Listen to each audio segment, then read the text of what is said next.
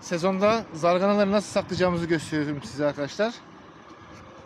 Deniz suyu var içerisinde. Denizden çıkarttığınız gibi Livardan alsak daha iyi değil mi?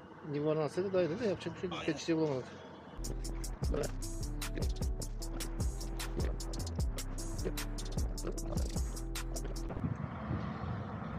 Kapan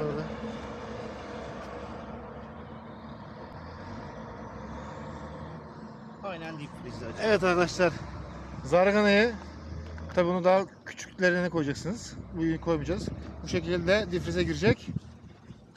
Lüfer zamanı taptaze yeminiz hazır. Bir kere çözebiliriz. Bir kere çözebiliyorsunuz.